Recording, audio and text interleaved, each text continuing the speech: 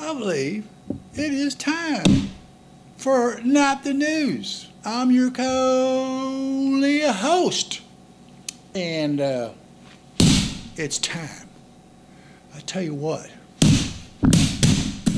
we got some news. Uh, Do you know anything about horses? I tell you what, I'm fixing to find out a lot more ho- about horses. Let's see, let's see, let's see, let's see. A horse was seized in a tax fraud case. It had to do with the FBI because the owner was arrested for 1.3 billion tax fraud. That's a chunk of change right there. Now, the FBI said it was going to cost $50,000 a year to take care of that one uh, show horse. It was a jumping show horse.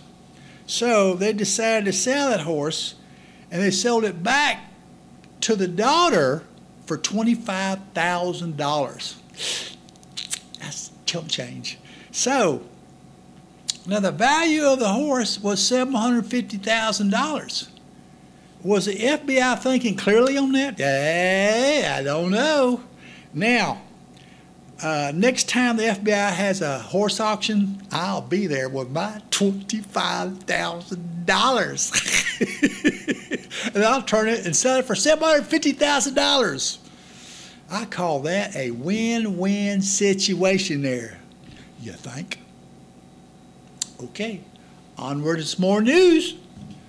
I know you have heard of Monaco over near France. And that's where they have all the, the, the gambling going on, all the uh, movie stars going over to gamble and, and taking your yacht over to show off your yacht. Well, I got some news about Princess Charlene. Okay, she makes an appearance with her husband, Prince Albert. So he rules the country over there, which is a small little country. But I mean, for a one bedroom apartment over there is $1.5 million. That's just a one bedroom. It's expensive. Get the cobwebs off your money. Now, now don't she found out she was an Olympian, and don't ask me what Olympian she was. Go find out yourself, because I don't care.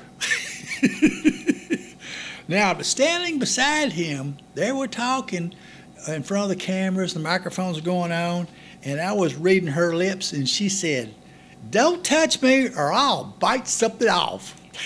you know what? well, now sounds like I need to send her my phone number quickly. yes, yes, yes. You know what? More news. We got more news coming. I'm going to jog your memory about now. You remember this man, this older man, his name is Bill Cosby. We got some news about Bill Cosby. He was in the news recently, but hey, he's in more news today. Now, Judith Huth, H U T H, the plaintiff said she was molested by Bill Cosby when she was 16 years old at the Playboy Mansion. You know, it's like, that was a long, I say, that, I, I don't have enough fingers to figure out how long ago that was. But anyway, it's like uh, when he, when Bill Cosby was doing this girl and doing that girl with pills and everything else, and it's like, how could you keep up with the name of this girl or that girl? Now, he, forget about her after he went on. So, uh, now, why did it take so long for her to come forward? I can't figure that one out after all these years, but found out she did come forward in 2014 when nothing happened. When I have sex with a female, I don't forget unless there's animals involved. I, I draw the line right there. That's it. I'm done with that. you know what? That's our news for today. And I hope you enjoyed my show today. I'm G, your host. Read my lips. Meow.